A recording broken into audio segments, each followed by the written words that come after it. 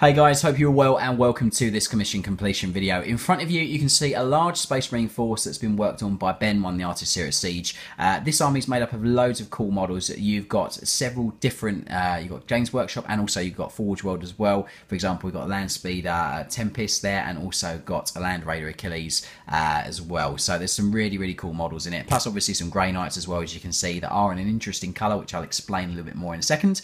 Um, there's an earlier phase to this commission as well on our YouTube YouTube channel. We've actually completed two phases for this uh, for this client, and this is the third phase. Um, it's got a very interesting backstory. Now, our client approached us and wanted a completely out there army that uh, is something totally different, and uh, that's the beauty of what you, when you get army commissioned, you can you know get your spec and you can totally sort of go go to town on the things that you want. Uh, this army is themed after bacon. Uh, you heard correct. It's themed after bacon that you eat. So it's a Space Marine uh, army themed after bacon, which we have nicknamed in the studio the Sons of Bacon. Um, I think the client may have adopted it. I'm not too sure, but uh, it's quite funny either way. It's been a great project to work on. Ben's taken loads of cool influence from bacon. Uh, that sounds really weird to say, but he's taken loads of influence from bacon and created a very themed army with that that. So it gives you a bit of an idea of what you can actually achieve when you come and get commission um, done with us here at Siege. Uh, so without further ado, let's dive on in and have a look at this great project. Um, so for colour scheme, uh, if you've seen the other uh, phase of the commission, uh, what Ben's done is he's used the sort of pink colour as the main base colour for, for the army.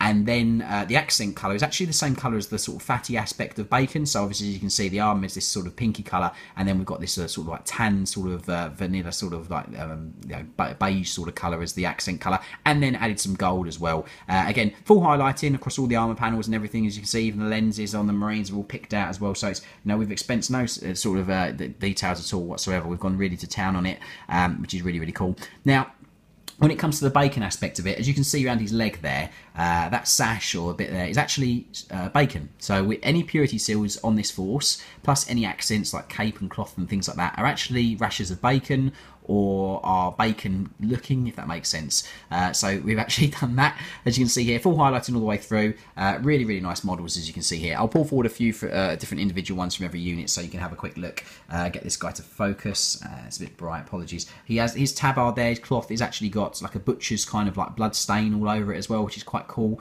Uh, and then moving around again, as you can see, full highlighting, full detail work on all of these models. I'll pull forward a few more just so you can have a look at the variation of different different bits per unit. Uh, again, as you can see here, loads and loads of details, all picked out, all highlighted fully. As you can see, again, more bacon sashes on the legs, as you can see there. So that's just some of the Vanguard veterans. Pull forward the captain so you can have a look at him, uh, get him to focus. Again, as you can see there, uh, he's got like a butcher's tabard there. All the purity seals of bacon. The uh, strap on the storm bolter is actually a long length of, uh, of bacon.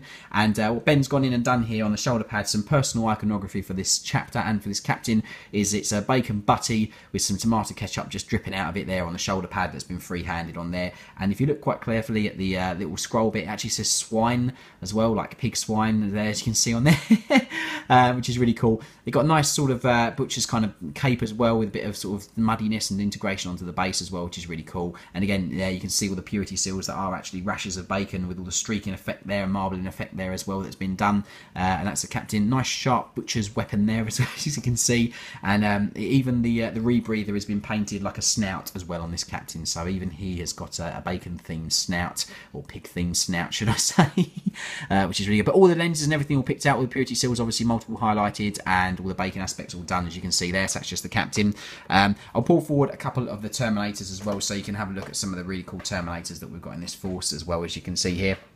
So again, they have had the same works done on them, uh, full highlighting throughout all the lenses and every details picked out. You've got some uh, bacon purity seals there, as you'd expect, uh, moving around all the gold accents and all the detail work all picked out on these, as you can see there. Uh, it's one of the Terminators. Pull forward another one for you as well, so you can see. And again, we've got the same detail work, all the lenses, multiple highlighted pointer lights, all this white dot, everything all done on them. So full detail work, uh, and uh, again, purity seals are bacon, which is always funny to say.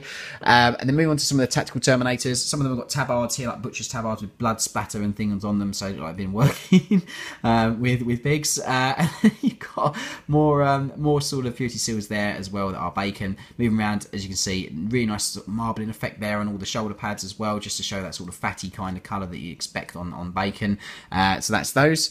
Um, we'll pull forward a couple of the bikers just so you can have a look at the bikers as well. Uh, and we've done the exact same thing on these, the same colour consistency across the whole commission as you'd expect. Again, multiple highlighting throughout, as you can see here. All the metal work all picked out, all the individual details and edge highlights all done through multiple levels, which is really nice. Uh, got a little bit gritty and dirty around the feet as well. Just done a little bit of weathering on these as well because the mud that would kick up from the bases. So that's just some of the bikers. Uh, pull forward one of the dreadnoughts as well, so you can have a look at the dreadnought.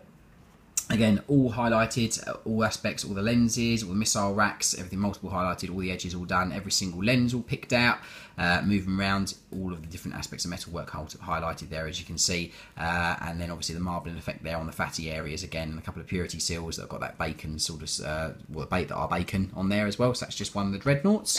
Um, we'll then pull forward the, the big guy himself, we'll put forward the Achilles, lovely model, obviously it's a Forge World model as you can see here, and uh, some real attention to detail has been done as you can see. So we've actually gone in and uh, done the bacon butty there on the side as the chapter heraldry uh, with some uh, tomato ketchup running down from those. All fully highlighted, all the lenses and everything picked out as you'd expect and you can see there, which is really, really nice. Uh, really nice transition of colour from the bottom to the top as well, so it's nice and sort of gives it real interest on this piece. Loads of lovely flat edges as well, all picked out. Every bit of uh, detail like the skull on the back on the engine block, all the marbling effect there on the fatty areas all picked out.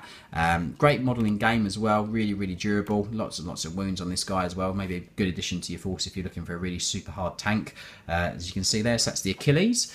Um, and then we'll pull forward a couple of the other models, just pull forward the, uh, the Landspeeder Tempest that we've got there at the back. Uh, really, really cool uh, Forge World model. Uh, and uh, again, full highlighting work on this, just get it to focus for you guys. So as you can see all the missile racks all picked out, assault cannon, every edge, every panel all picked out, weathering as well and chipping as well on these, uh, which is really, really cool. Lovely model. Um, not too sure on the rules on this, but I'll have to have a look at it. I think it could be quite good now in the new edition. Um, but if you know, then put some comments below in the, the bottom of the video as well, guys. Tempest, which is absolutely smashing. and then what we'll do is we'll also pull forward a couple couple of land speeders, just so you can have a look at the land speeders.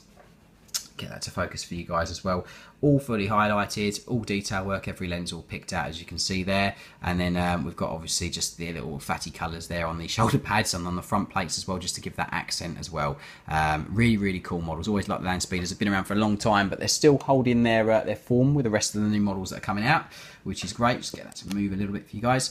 Um, and then we'll move on to uh, the some of the grey knights. So our client obviously came to us and asked us to do uh, some grey knights to go with the force, but we thought it'd be really nice to, to instead of doing them normal silver, obviously to go in theme with his bacon army, um, and we ran this by him and he was over the moon with it, uh, to go sort of like a different off colour. So we've used the fat colour as the main colour, and then what we've done is also uh, gone in there and then obviously added a bit of a pink sort of uh, pinky sort of red mauve colour to different areas of the model as well. Uh, so just get that to focus for you guys. So as you can see there, all the little bubbles in the vials there, as you can see, uh, loads of bacon purity seals, all the little screens and everything all picked out with some contacts and blips, as you can see, uh, all fully multiple highlighted on all the edges and all the metal work all picked out. Some really sort of butchery sort of uh, uh, sort of weapons, as you can see there. We've kept little silver accents on all the words on the armour, just so it's got that little silver accent as you'd expect on any sort of uh, uh, Grey Knight Force, but everything's highlighted, fully detailed.